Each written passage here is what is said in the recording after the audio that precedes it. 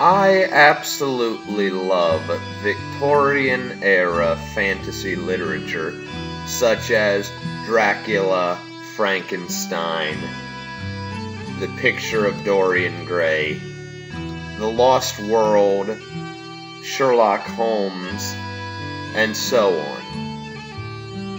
And I am an international man of infamy, and so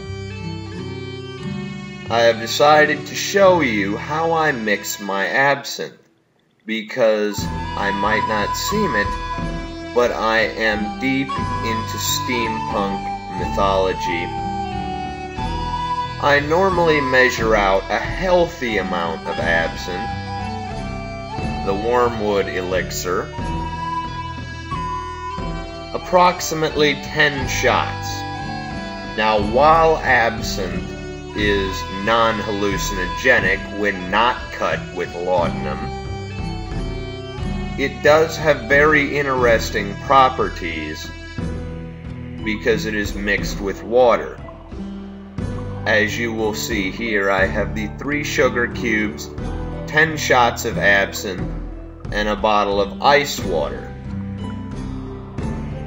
I do not have an absinthe spoon, nor an absinthe fountain. So my one-to-one ratio louche is not entirely perfect, and it is far from posh. However, 10 shots of absinthe cut one to one with water is a very intense, mind awakening experience. Always drink responsibly And beware, the green fairy wants your soul.